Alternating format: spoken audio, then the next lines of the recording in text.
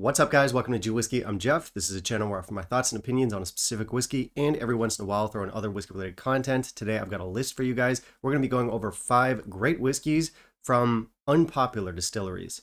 Should be fun. Stick around.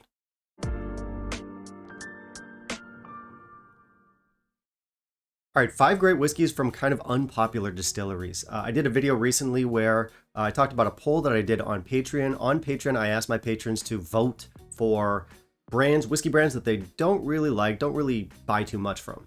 That video did quite well, but it also got its fair share of backlash because there's a lot of people out there who genuinely enjoy those brands, so it is understandable. Some of those people got a little bit defensive. So for the record, a few things here. Number one, that was not a personal attack. I'm sure you have very good taste, and I'm sure the people who work at those distilleries work very hard and care about what they're doing. Uh, number two, that was not even my opinion. That opinion was the amalgamation of 50 people voting on a Patreon poll. I asked my patrons a direct question, and they voted and answered honestly. Uh, and number three, like what you like. It's just a video on YouTube. No one's telling you to dislike something. So with all that said, in today's video, I am going to try and put more of a positive spin on that video from a couple of weeks back, try and redeem myself a little because as a YouTuber, I'm constantly seeking validation through the approval of strangers on the internet. So I'll be listing off good bottles from some of the brands that were mentioned in that last video because I'm sure even my patrons would agree here. Sometimes brands that you don't really like or aren't really interested in still do pump out a banger from time to time. So five good bottles from unpopular distilleries. I'm not really going to factor in price in today's video. This will be in ascending order of deliciousness, all my opinion.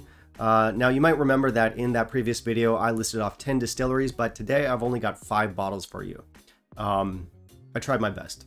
As usual, I do have a mystery pour in the glass here. This one is an older whiskey. It's from one of the three distilleries that tied in 11th place in that last video. So that's your hint for today. So stick around after the list and I'll share with you what that is. And that's it for our intro. Let's not waste any more time. Let's jump into our list. In the meantime, if you'll kindly leave a like down below, that would be greatly appreciated. Before we jump in, I do want to give an honorable mention, and that honorable mention is Macallan. Macallan was number three on that previous list. Uh, and to be honest, I like most of their whiskeys. Not so much the special edition, no age stated whiskeys. Those tend to disappoint for the price. And actually the issue in general with Macallan is that it does often disappoint for the price, but I still like their age stated core range. I think they're good whiskeys. It can be the double cask, it can be the sherry cask, the 12s, the 15s, the 18s. Those are all good whiskeys. The 18s are obviously well overpriced at this point. Don't recommend getting those. The 15 has shot up in recent years, so I don't really buy it anymore. I still do occasionally come back to the 12 year olds. Yeah, they're 40%, they're chill filtered, but they do taste good. And listen, in my patron's defense, the question I put forward was not what brands do you hate the flavor of? It was what brands do you avoid buying? So that could be for whatever reason. And I think a lot of them probably do enjoy the flavors of Macallan, but they don't like the branding, they don't like the marketing, and they don't like the price. And in that sense, Macallan makes absolute sense on that list, but I'm including them as an honorable mention here because despite the branding and the specs and the marketing, I'm still happy to drink their whiskey. I think it's good whiskey, so there we go. Honorable mention. At number 5, kicking off our proper list, I've got a whiskey from Glenrothes. Now in that video a couple weeks back, Glenrothes came in at number 10, so it's definitely not the most disliked brand on the list. I think for the most part people are just kind of indifferent about it. Anyway, my pick from Glenrothes is the Maker's Cut. This one is no age stated sherried whiskey. Uh, it's not an epic whiskey. It's not going to blow you away, but it is solid. It's rich. It's enjoyable. We get spices. We get fruit. We get chocolate. It's good. One thing of note about this one is that I believe it's discontinued, and not just this one, pretty much the entirety of the old range. If you go to the website now, they only have whiskeys starting with the 18 year old and older, so they don't even have younger whiskeys anymore, which is interesting. Either way, the Maker's Cut is still around in my market, and I imagine that it's still around in most markets because I'm pretty sure that rebrand happened only just recently. Although, to be honest, I'm not totally sure because I don't really follow the brand that much, which I guess is a little bit telling. Um, but no, not an epic whiskey, a really solid whiskey. It is worth checking out, and if it's still in your market and you want to grab it, it is worth trying. Glenrothes Maker's Cut.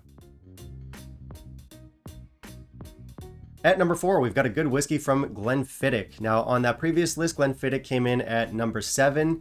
Uh, I actually never really had a problem with Glenfiddich. I actually like the house style. It's not a favorite, but I think it's good. And, you know, despite the mass market specs, it is a whiskey that for me has always been just kind of reliable in a pinch. Uh, on the opposite end of that, it's never particularly impressive, but it's always around, it's available, and it's affordable. Anyway, I did try Glenfiddich recently that I thought was really good. It was an 18 year old, but it wasn't the standard 18 year old. This one was from the Perpetual collection. It was vat number four, and it was nice. This one is travel retail. It's Solera aged, 47.8%. It is a big step up from the standard 18 year old. We do have uh, classic Glenfiddich flavors in here, but they are amped up a little bit. It's rich, it's fruity, good complexity. I enjoyed it. Also, side note, another good Glenfiddich you can check out is the 15-year-old, uh, I believe it's called Distillery Edition. That one had a higher ABV. I believe it was over 50%. Obviously, nice age statement there. Now, I think that one's been discontinued, so I'm not sure if you'll still be able to find it. Uh, but if you can, check it out. Meanwhile, for what's currently available, check out the Perpetual Vat number 4, 18-year-old. It's a good one. Next up at number three, we've got a bottle from Tomintoul. Now this brand was number eight on the unpopular list, and I realized after I shot that video that there had been a whiskey that I tried from them a long time prior that I thoroughly enjoyed.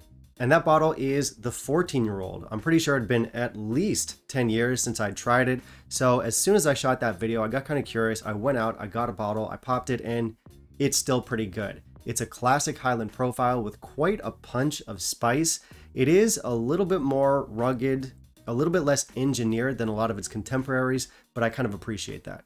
So it's got kind of an old school appeal. It's fully craft, so 46% non-chill filtered, natural color. It is a classic Highlander, but just with some rougher edges, but I think it works. I think it's a really good whiskey, and I think it's overlooked, so it is one to check out, Tom & Towel 14. At number two, we've got a whiskey that I have talked about previously on the channel. I've talked about it quite a bit, actually. It's from Dalmore. Now, Dalmore was the number two least liked brand on that entire list. Uh, this one is the Sherry Cask Select 12-year-old. This one is different than the standard 12 year old and much better, so don't judge it on that basis. It is rich, it is full, it is fruity. It's probably one of the richer 12 year old sherry whiskeys you're going to find out there. Uh, I think our cask play here was excellent. And usually I'm a guy that's sensitive to a very strong cask influence, but this one makes it work. So I think this is a really solid bottle. I think there are a couple other really solid Dalmores out there. I don't have an issue with this brand like a lot of other people do, but certainly the colors are ridiculous. The older bottles are too expensive. I, I understand the complaints, but still, I like Dalmore and I like this one.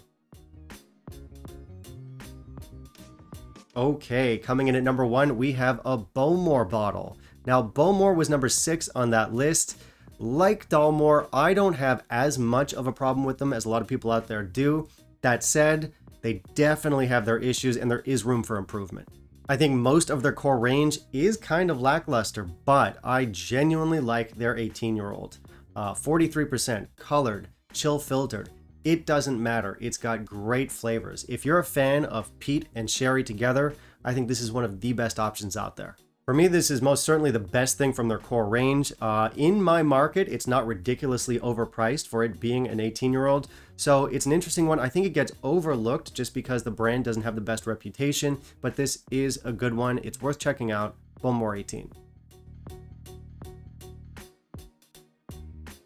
Okay, that was the list, guys. I hope you enjoyed it. And of course, I want to hear from you. So, what are some great bottles from brands that you consider to be unpopular? Now, those don't need to be brands that I listed on that previous video. They could just be brands that, in general, don't get a lot of love, but are still putting out good whiskeys once in a while. I'm looking forward to reading what you guys drop in the comments from that. Uh, finally, if you stuck around to find out what my mystery pour is here, the hint was that this is a pour from one of the three brands that tied for 11th place in that video. What I'm drinking is Glen Moray 18. Now, Glen Moray didn't crack the top 10 for disliked brands on that list, and I think there's a reason for that. Uh, yeah, it's not a great brand, but they do offer up some very affordable options. And this 18 year old is one of them. This is a very cheap 18 year old. Is it the best 18 year old out there? No, but it is pretty solid. It's definitely one of the cheapest. It's 46%. It makes for a great sipper. Not every whiskey needs to rock your world. If you're looking for an easy sipping, affordable 18 year old, this is a great option. And that brings us to the end of today's video, guys. Thank you so much for watching. Uh, as always, I've got both Patreon and PayPal listed down below if you want to help out with the channel. I'm looking forward to reading your comments. What are some great whiskeys from unpopular distilleries? And I suppose we'll see you next time. Bye, guys.